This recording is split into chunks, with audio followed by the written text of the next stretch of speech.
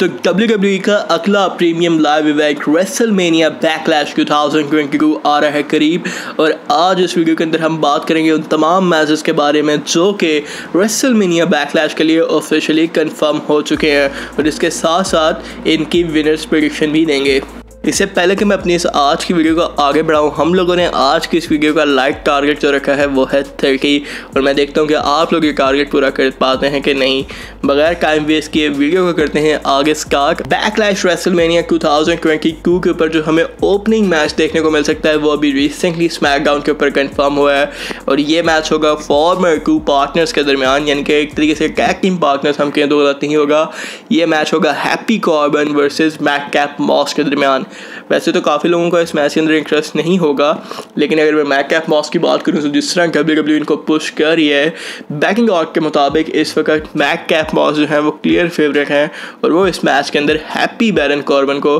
हरा देंगे। इसके बाद जो अगला मैच हमें देखने को मिलेगा, वो भी एक सिंगल्स मैच है और इस मैच के अंदर the all mighty Bobby Lashley face करेंगे ओमस और एमवीपी को। आ, ये two on one handicap match नहीं है। ओमस जो है वो फेस करेंगे बॉबी लैशली को और एमवीपी जो है वो ओमस के मैनेजर हैं।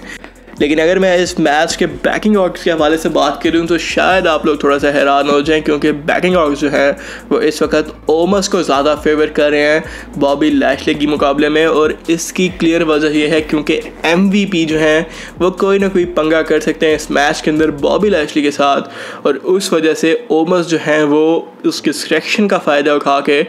बॉबी लैशली को इस मैच के अंदर हरा सकते हैं। और एक तरीके से अगर ये चीज़ होती है तो मेरे ख्याल से अच्छी भी होगी, क्योंकि अगर एमवीपी को बॉबी लैशली से अलग करके ओमस के साथ डब्ल्यू डब्ल्यू ने मर्ज किया है ज्वाइन किया है तो मेरे ख्याल से अगर ओमस जो है, वो दोबारा से हार जाएँगे बॉबी लैशली से क्लियरली तो ये चीज़ इतना कोई फ़ायदा नहीं होगी। और ओमस का जो करियर जिस तरह डब्ल्यू डब्ल्यू ओमस को स्टार्किंग में पोस्ट करी थी, वो पोस्ट जो है, वो एकदम डिस्ट्रॉय हो जाएगा। बहरहाल बैटिंग ऑर्ड्स के मुताबिक इस मैच के अंदर एमवीपी की मदद से ओमस जो है, वो बॉबी लैशली को हरा देंगे। इसके बाद जो अगला मैच हमें देखने को मिलेगा वो होगा रॉ वुमेन चैंपियनशिप के लिए जहाँ पर Raw women champion Bianca Belair जो है वो अपने टाइटल को डिफेंड करेंगी अगेंस्ट सोनिया दिवेल इस मैच के अंदर सोनिया दिवेल जो है वो काफ़ी हद तक वाक्य उठाने की कोशिश करेंगी अपने रोल की वजह से लेकिन आ, अगर मैं बैकिंग के हवाले से बात करूँ तो बियंका ब्लेयर जो है वो क्लियर फेवरेट हैं इस मैच में सोनिया दिवेल को हराने के लिए और बैकलैश के अंदर बियंका ब्लेयर अपनी चैंपियनशिप को सक्सेसफुली रिटेन कर लेंगी अनटिल डब्ल्यू डब्ल्यू को शॉकर पुल ना करे। इसके बाद जो हमें अगला मैच देखने को मिलेगा, वो भी एक रेसल का री मैच है। और इस मैच के अंदर फिनल एज स्कैल जो है, वो फेस करेंगे the rated R superstar Edge को। अगर मैं इस मैच की बैटिंग और प्रोडिक्शन के हवाले से बात करूँ तो इस वक्त एज स्कैल को जो है, वो बैटिंग और ज़्यादा फेवर कर रहे हैं एज के मुकाबले में। और हो सकता है कि एज स्कैल जो है, वो इस मैच के अंदर एज को हरा भी दें, लेकिन एज के अंदर हमें एज जो है, वो दोबारा से क्या नाम है एज स्टाइल के ऊपर अटैक करते हुए दिखाई देंगे और हो सकता है कि एच के जो इस फिक्शन है, जो ये ग्रुप है, इसको कोई और नया मेंबर भी ज्वाइन करे at the end of this match और बैकिंग ऑक्स के मुताबिक इस वक्त तक एज स्टाइल जो है, वो क्लियर फेवरेट है एच के मुकाबले में। इसके बाद जो हमें अगला मैच देखने को मिलेगा, वो होगा एक six man tag team match और ये मैच पहले unification title tag team title unification match था, लेकिन रिसेंटली स्मैकडाउन के एपिसोड के ऊपर इस मैच को चेंज कर दिया गया। और अब ये मैच जो है एक six six man tag team match के अंदर कन्वर्ट हो चुका है। इस मैच के अंदर ग्रू मैगनेकार और रेकेकार के ब्रोज जो है, वो फेस करेंगे दी ऊसोज और रोमन रेंस की टीम को। और अगर मैं बैकिंग के हवाले से बात करूँ तो इस वक्त शॉकिंग भी आप शायद थोड़े से हैरान हो, लेकिन ग्रू मैग्नेकार की टीम जो है वो फेवरेट है। ग्रू मैगनकायर और रेगेगार के ब्रोज जो है वो फेवरेट हैं रोमन रेंस और ऊसोस के मुकाबले में। लेकिन क्योंकि मैच अभी रिसेंटली कंफर्म हुआ है तो लास्ट वीक तक पैकिंग एक्ट जो है वो बैकलैश से पहले जो आखिरी हफ़्ता होगा, तब तक पैकिंग ऑक्स काफ़ी हद तक चेंज हो जाएँगे और तब हमें एग्जैक्टली क्लियर पता चल जाएगा कि कौन होने वाला है बैकलैश पेपर व्यू के अंदर विनर और इसकी भी अपडेट जो है मैं आप लोगों को इस चैनल के ऊपर दे दूँगा। लेकिन अभी तक के लिए ग्रू मैगनेकार रैंगी ओकन और बैक जो है वो इस मैच के अंदर फेवरेट हैं।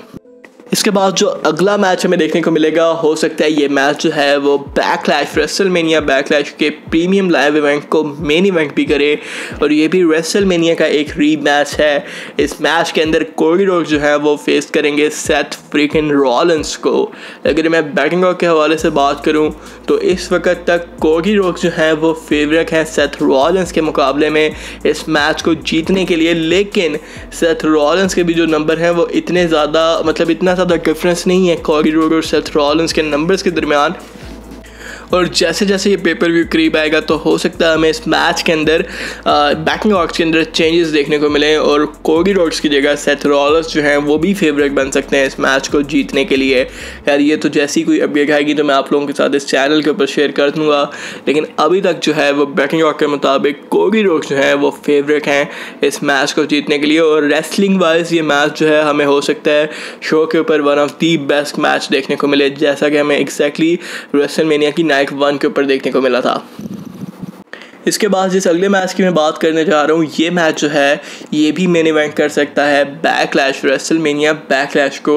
अब ये डब्ल्यू डब्ल्यू पे डिपेंड करता है कि वो किस मैच से मेन इवेंट करवाएगी, किस मैच को मेन इवेंट में डालेगी बैकलैश के लिए। लेकिन इसकी वजह यह है कि ये इस मैच के चांसेस ज़्यादा इस वजह से हैं, क्योंकि अभी तक जितने भी स्मैकडाउन के ऊपर इस मैच के हवाले से सेगमेंट हुए हैं, ज़्यादातर सेगमेंट्स ने स्मैकडाउन को मेन इवेंट किया यानी कि ज़्यादातर जो सेगमेंट थे, इस मैच से रिलेटेड वो मेन इवेंट के अंदर डाले गए थे।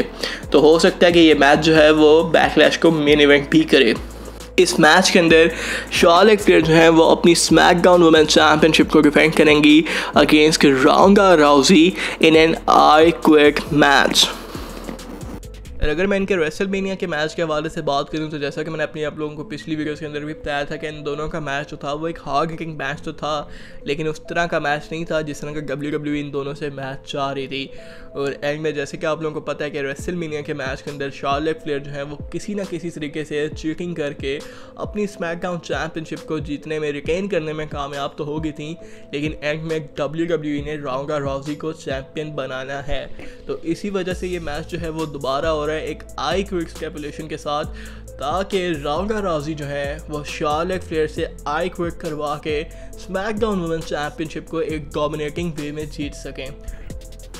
और इस मैच के बैकिंग ऑर्ग भी कुछ इसी तरह की पिक्चर शो करें क्योंकि बैकिंग ऑर्ग्स के मुताबिक भी राउंड राउजी जो है वो क्लियर फेवरेट हैं इस मैच को जीतने के लिए। हालाँकि रेसल मीनिया से भी पहले बैकिंग ऑर्ग्स राउंडा राउजी को ही फेवर कर रहे थे, लेकिन जैसा कि हम सबको पता है कि रेसल मीनिया के अंदर शार्लिक फ्लेयर ने मैच जीत लिया था, लेकिन इस बार इस तरह की कोई भी सिचुएशन होने के चांसेस बहुत कम हैं और बैकिंग ऑर्ग्स जो हैं वो क्लियर फेवरेट हैं। राउंडा राउजी के हक में शार्लिक फ्लेयर के बहुत कम चांसेस हैं। अनलेस और एंकल डब्ल्यू डब्ल्यू दोबारा से कोई शॉकर तो नहीं, लेकिन अगर कोई अजीब सी बुकिंग ना करे